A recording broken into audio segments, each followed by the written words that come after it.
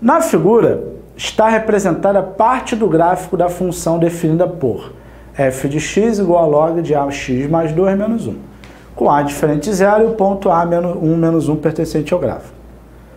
O valor de a é, gente, é só você substituir. Você tem essa função aqui, ó, f de x igual a log de ax mais 2 menos 1. Tudo bem? Você vai substituir esse ponto, onde x é 1 e y é menos 1. Então vai ficar log de a vezes 1 mais 2 menos 1 igual a menos 1, né? Por que igual a menos 1? Onde tem x eu boto 1, onde tem y eu boto menos 1. Menos 1 aqui com menos 1 vai dar zero, porque vai para lá diminuindo. Então eu fico com log de A mais 2 igual a zero.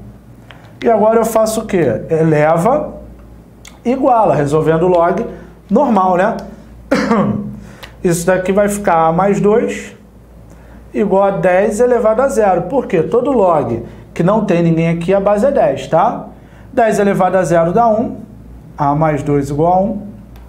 Trazendo para cá, A vai ser 1 menos 2. Logo, A vale menos 1 também. Show de bola, né? Então, A vale quanto? Menos 1, né? Menos 1. Daí o gabarito é a letra C, Marcos.